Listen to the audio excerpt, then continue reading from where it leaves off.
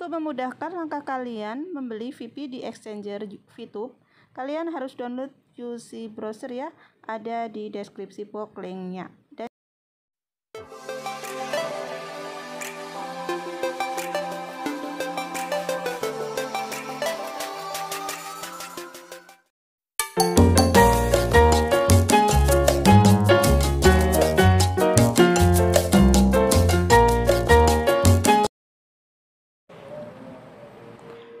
Assalamualaikum warahmatullahi wabarakatuh. Uh, Selamat siang semuanya. Apa kabar? Semoga baik dan sehat selalu ya. Oke teman-teman. Uh, Hari ini Osin mau bikin tutorial Cara beli VP di Exchanger Yaitu cara beli VP VTube di Exchanger ya. Kemarin ada uh, beberapa um, teman yang request untuk bikin tutorialnya Karena sekarang kan sudah upgrade aplikasinya juga ya. Jadi mungkin ada menu-menu yang berbeda. Oke, langsung saja kalian buka uh, exchanger kalian ya. Kalian kalau mau beli, uh, kalian buka dulu link exchangernya, link ya link exchangernya untuk VTube. Nanti akan saya tulis di deskripsi ya dan juga cara-caranya. Untuk langkah yang pertama kalian pasti masukkan nomor teleponnya ya.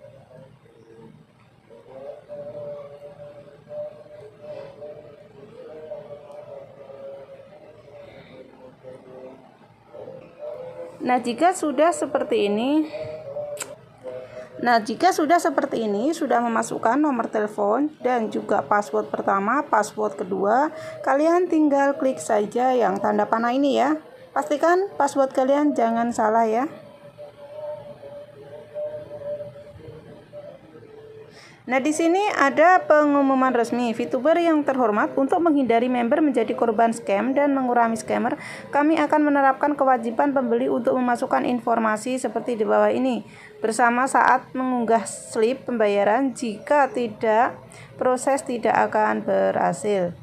Nama bank pengirim, nomor rekening bank pengirim, nama pengirim, jumlah nya.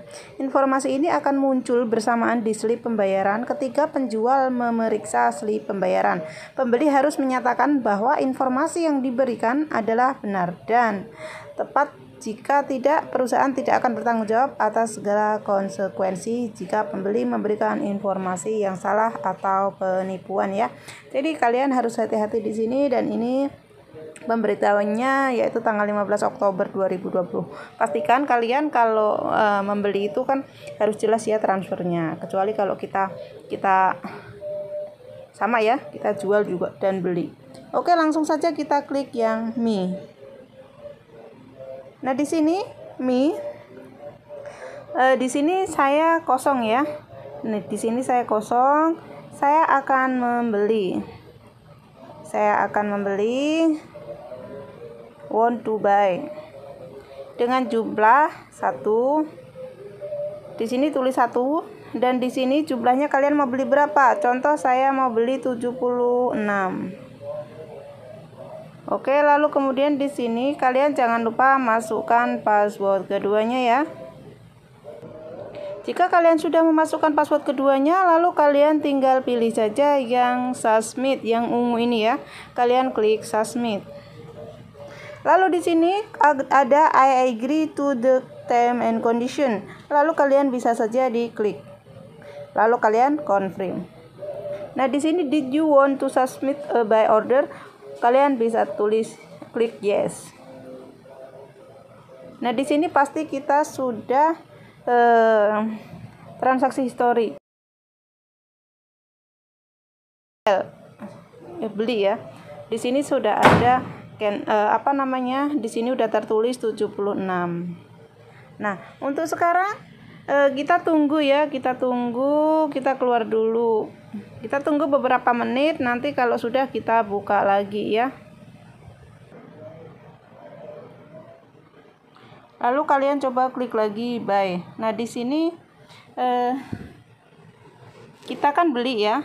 Jadi kita beli kita harus upload sesuai ya sesuai namanya ini lalu di sini kalian bisa pilih upload slip pastikan kalian sudah transfer dan disesuaikan dengan jumlahnya yaitu sejuta ribu ya oke kita upload slip Nah, di sini akan muncul seperti ini. Nanti kalian harus download aplikasinya ya. Kalau enggak nanti enggak bisa seperti lewat Chrome dan lain-lain. Nah, di sini kalian tulis saja sender bank name. Sender bank account number. Jadi nomor pengirimnya harus ditulis.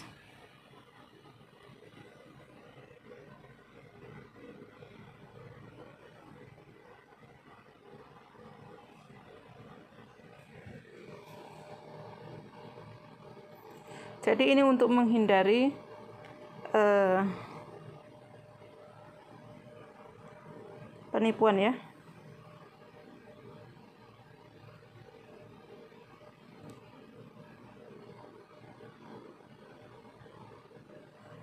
Terus ini ya, tadi jumlahnya ya sejuta seratus tujuh belas ribu. Nah, ini di sini namanya, nama pengirim, nomor rekeningnya, banknya dari bank apa. Lalu kalau sudah seperti ini, kalian di sini juga upload slipnya dari galeri, lalu dari album, lalu kalian pilih tadi yang udah eh, mana ya tadi sebentar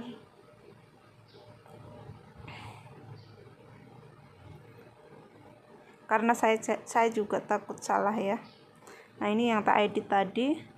Nah, kalau sudah seperti ini, kalian pastikan sudah memasukkan semuanya ya dari nama, bank nomor rekeningnya, nama BCA, nama banknya juga, jumlahnya, lalu baru kalian confirm. Please input amount. Udah saya input kan?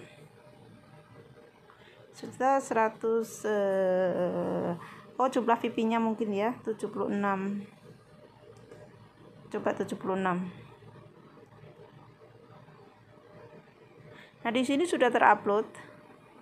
Nah, sekarang udah udah tinggal submit ya. Kita tunggu saja nanti kalau sudah disubmit sama yang punya VP nanti otomatis akan masuk. Jadi tadi yang dimasukkan amount itu e, bukan jumlah uangnya tapi jumlah VP-nya ya. Kita tunggu saja keluar dulu. Nanti baru kita masuk lagi. Saya matikan dulu ya.